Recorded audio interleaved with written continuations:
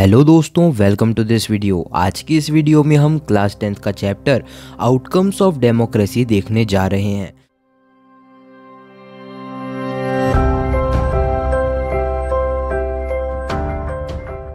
सबसे पहले समझते हैं व्हाट इज़ डेमोक्रेसी ये एक फॉर्म ऑफ़ गवर्नमेंट है, जिसके रूलर्स को कॉमन पीपल इलेक्ट करते हैं।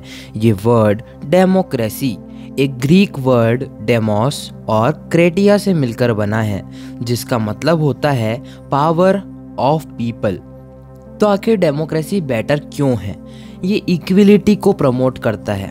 इंडिविजुअल्स की डिग्निटी को बढ़ाता है। डेमोक्रेसी में अदर फॉर्म्स ऑफ़ गवर्नमेंट से डिसीज़न लेने में ज़्यादा टाइम लगता है, पर आखिर में जो रिज़ल्ट निकल कर आता है, वो सबके लिए फेवरेबल होता है। कॉन्फ्लिक्ट्स को रिजोल्व करने का रास्ता बताता है। बेसिक आउटकम्स ऑफ़ डेमोक्रेसी सबसे पहला, गवर्नमेंट अकाउंटेबल होना चाहिए।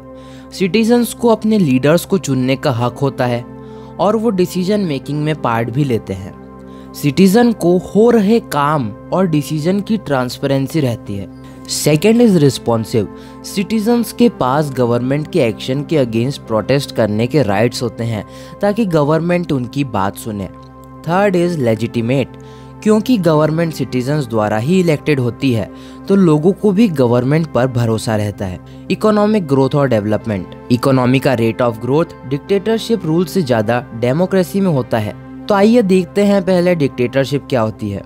डिक्टेटरशिप में हर नागरिक को सारे लॉज और रूल्स को फॉलो करना पड़ता है, जो कि एक पर्सन या पार्टी ने बनाए हों। लोगों को डिसएग्री करना अलाउड नहीं रहता है।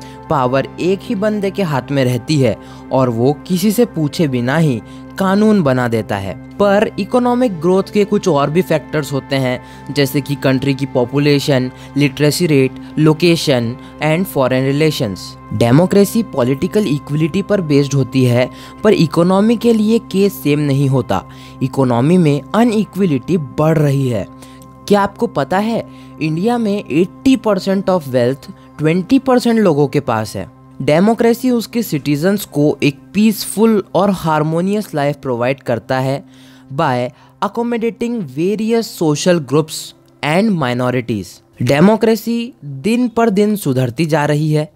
और लोग हमेशा डेमोक्रेसी में और ज़्यादा बेनिफिट्स चाहते हैं। तो दोस्तों, इस चैप्टर से आपका टर्म टू का सोशल साइंस का कोर्स ख़त्म हो गया है। मैंने सारे वीडियोस एनिमेटेड फॉर्म में आपके लिए बना दिए हैं। तो आप प्लीज़ उन्हें जाकर देखिए। और अगला वीडियो है मैप वर्क का, जो आपको class tenth social science term two exam में पूछे जाएँगे। मिलते हैं नेक्स्ट वीडियो में। बाय